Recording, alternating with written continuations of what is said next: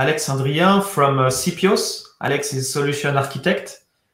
Hi, Nicholas. Hi, Alex. How are you? I'm fine, and you? Great. So you will present Green APIs? Yeah. Perfect. So if you can share your screen and, and just check that everything is okay. All right. I, will... I, think I think you can see the screen. Yeah, I think it's All perfect. Right.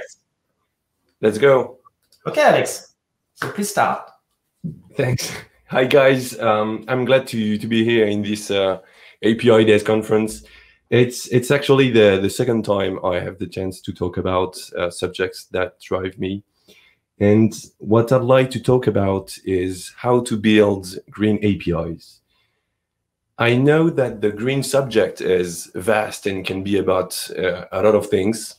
So to clarify, I would like to, to start with what I won't address in this talk. For obvious reasons, I, I will not talk about the, the green color. And I also will not talk about uh, actually green objects, such as plants. This will be about how to be more green in IT. And by that, I mean create a more sustainable way to build uh, tech products for our future.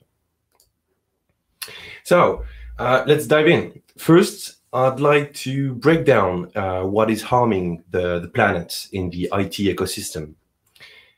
Basically, we can, we can summarize by saying that it all begins with uh, hardware production.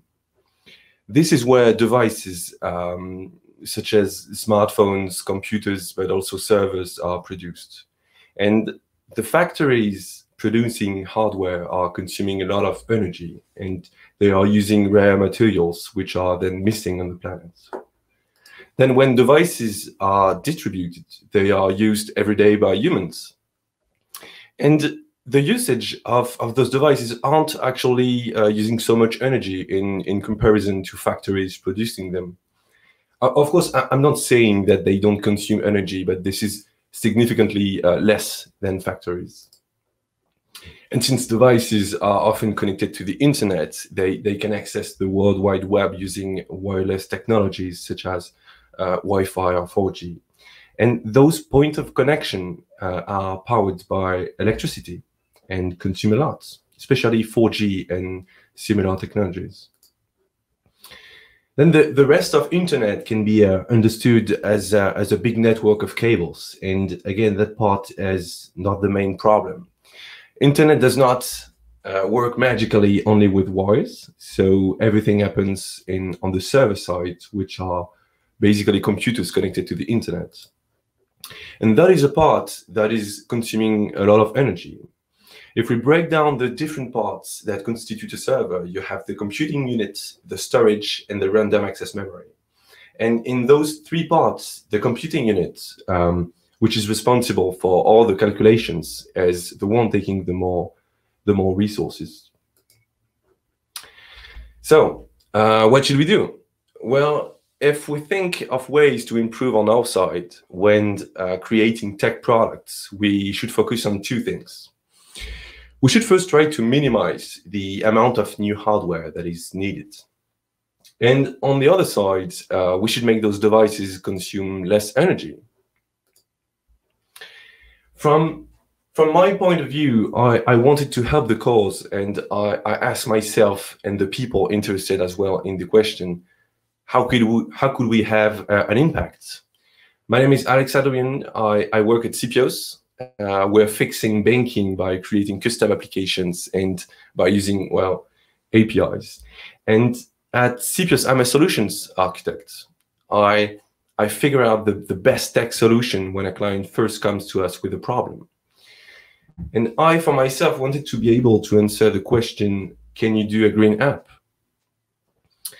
And I thought that if I was able to create tech products with uh, some guidelines to make it more green, then I should do so. So at Sipios, we try to create guidelines and principles on how to make more green products. And I would like to take you through our understanding. First, uh, let's take a simple example. Let's imagine uh, a physical button, uh, a simple button that does something I don't even know what, and let's say it's not important. But let's imagine that every time you press that button, something happens and consume energy. Well, if you are in charge of designing this button, you have a, a responsibility. Um, if you decide to write push me on this button, the, this decision will have an impact on how frequently this button is pressed. I guess we can all agree that uh, humans are, are more likely to push a button when push me is written on it. But that small decision at, at high scale can make your button be way more energy consuming than you thought.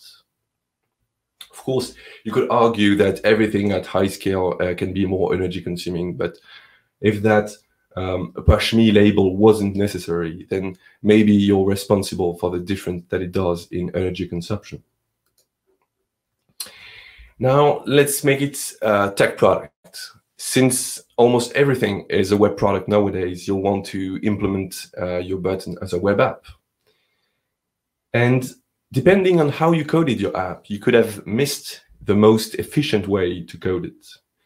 By that, I mean that coding is not easy, and there is there are plenty of ways to implement the same functionality. And if you see if you see your code in a, in a green perspective, you'll be paying close attention on how efficient your code is. For example, if the if, if in the code of this button there is a calculation that changes nothing for the user, it is consuming energy every time the button is pressed. And a scale, this will represent a significant amount of energy consumed for nothing. Anyway, a web application in 20, 2021 is never alone. It's always connected to the internet.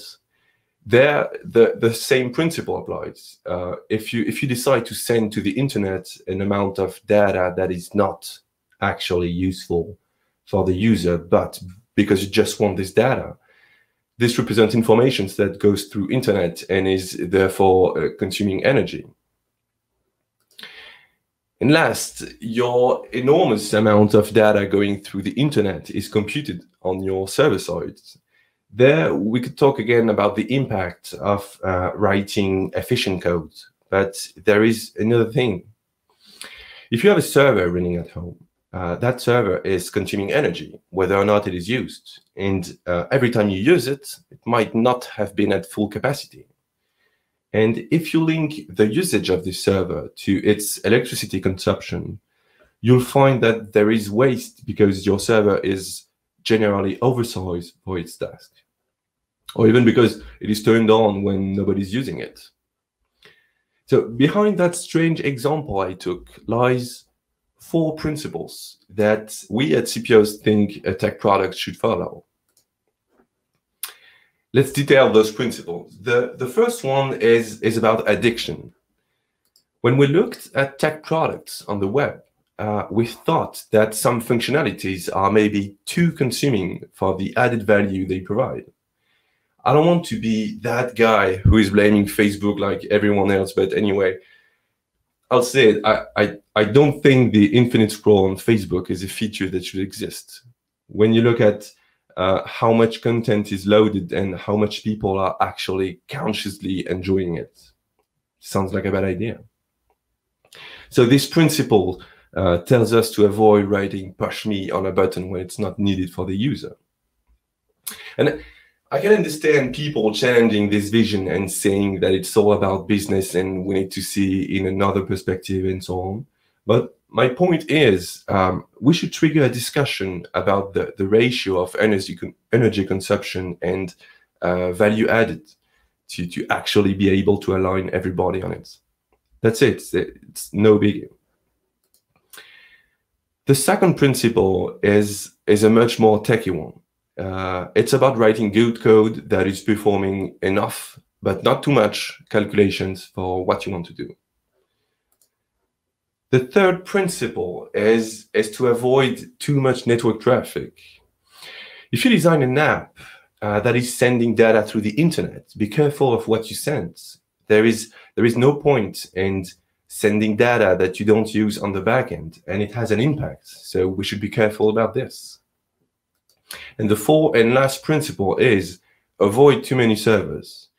I I love that one because it sounds like a magical one. It sounds so simple, but of course it isn't.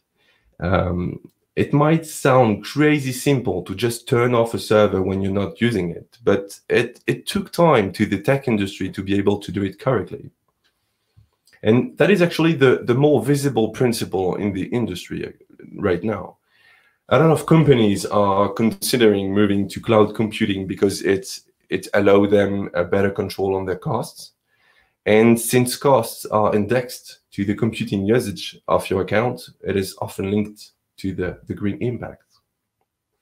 So that's it, uh, four principles. What I like about those principles is uh, it, it's all about, sorry, it's all about discussing and uh, trying to understand uh, how we can act.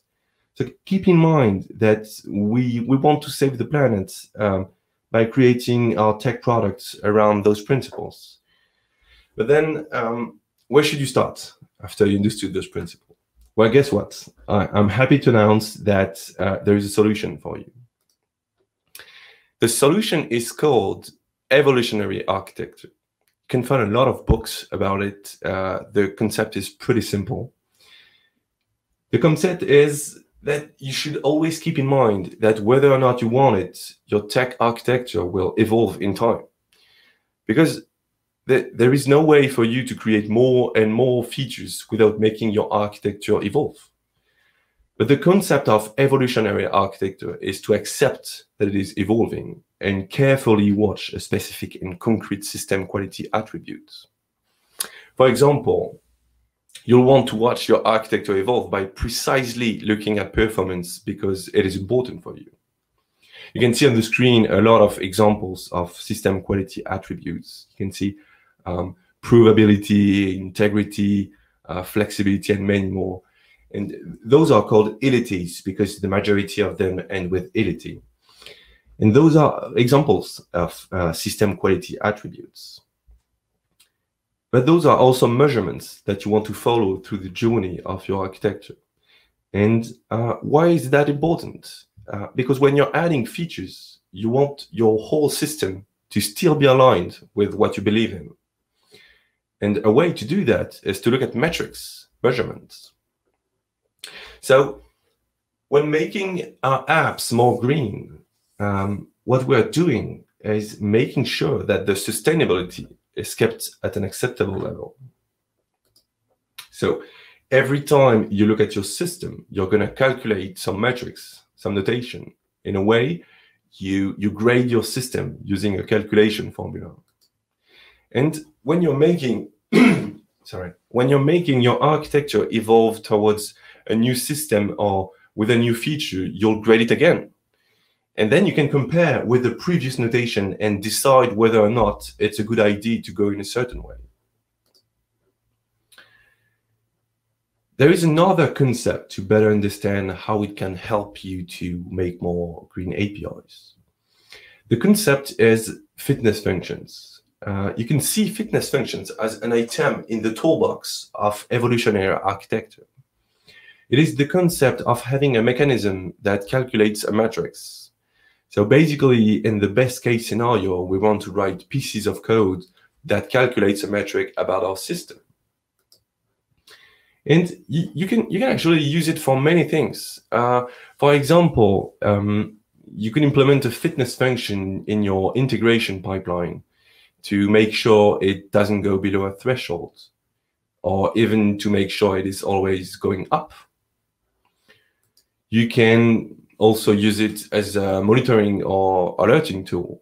Uh, if you're in charge of a development team, you could you could run your fitness function every day and and be able every day to detect times where it is going in the wrong direction.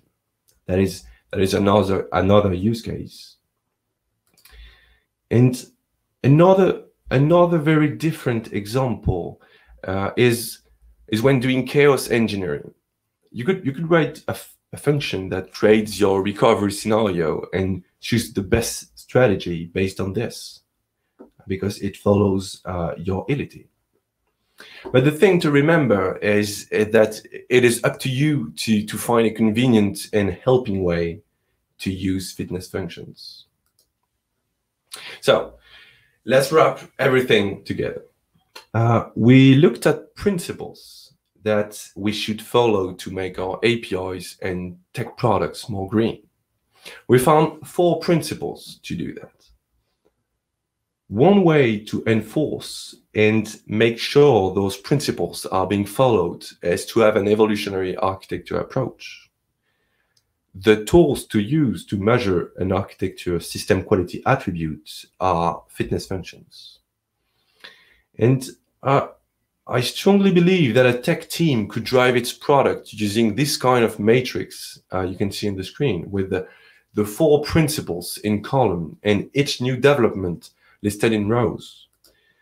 For example, if you if you implement a way for your users to upload community videos in your platform, you'll make the grade of the network traffic go up. And since you have uh, implemented a fitness function to calculate it, you, you'll be able to measure the, the increase with a, a number. Then let's say you decide to act on your infrastructure by uh, implementing an auto-scaling strategy for your servers to, to react when more users are using the platform. That implementation lowers the server consumption metric. And then if, if you need your user to, to, to now be able to search through your, your data, you'll want a search bar with a, a search algorithm. And that implementation will have an effect on your code complexity. But each new feature is not not always linked to only one green principle. We could think that if you need an infinite scroll on your app, I'm sure after many discussions to prove that you need it, that feature increases the addictive uh, feature grade and the network traffic one. I hope you can imagine that having this kind of visual management tool will help your teams to have discussions about which development uh, should be prioritized. And I believe the, the, the goal is not to make your app go directly green, but to actively look at helping metrics and decide to, to act on it. So that was that was the method. And you might have questions about uh, how to actually implement that in your architecture. So let's take a look at a few concrete examples. Here is an example of a fitness function written in Java as an integration test. Um, you could embed it in your CI/CD pipelines. Uh, what it does is it calls an endpoint in sorry and measure the time it takes um, to process and return all the information. So if you run that test with the same fixtures in the same environment, you'll have an objective measure of your code complexity. And if one day you implement a new feature and that fitness function returns a higher value, well, you know that you complexified the code. And uh, about that, the, the code complexity is is hard to grasp because I guess it's not it's not it's not easy even for human uh, to judge if a piece of code is complex or not. And one way to understand it is to measure the time complexity of a code as a proxy metric of the code complexity. So that is what is implemented here. Moving on to another example. This one is about the network traffic. Uh, the approach I had in this one is, is linked to how we use network. Um, you might have seen that an enormous amount of World Wide Web uh, traffic is is used by video streaming platforms. Media streaming is is is huge, uh, and if you look, if you look at an app, uh, the highest amount of data transfers will be taken by your media content, such as images and videos. So before attacking the size of your API response payloads, you, you should start by measuring the size of your media elements. To do that, I, I coded the Cypress test. Uh, Cypress is an end-to-end testing framework. Here it's, it simulates my platform and intercepts all the images coming from my content delivery network. So every time there is a media loaded, it adds the size of the media in account. count. In the end, I have a sum of all the content that was loaded in my tests. So this is a measure of how network consuming my app can be in its critical path. and for the last example, uh, I wanted to show a different way to write a fitness function. Imagine you have an AWS account. Uh, you created servers to support your app, and uh, you want to know how much your servers are consuming energy. As AWS is invoiced on how much you consumed their resources, one easy way and fast way to create a fitness function is to sum all the costs uh, of, the, of the AWS account. And uh, you can do that as a fitness function. You can see on the screen that I used the, the AWS Node SDK to get the, the cost, and I just returned the total of the cost. So it's not perfect, but at least it's a measure. So that was the, the last example I have for you. I, I hope you learned something. And if I had to summarize uh, what I want you to remember is, is that the best approach we have to make a green API is based on two things. First, remember the four principles to, to guide you through the understanding of what's consuming energy. And second, try to precisely look at what your architecture does and use the, the tools you have to, to measure it. That's, that's all for me. Um, thanks a lot for your attention. And a big thanks to the API Day staff for the opportunity. I love to participate in this. And now is the time where I answer questions, I believe, if Nicholas is going to come again. Nicholas? Are you there?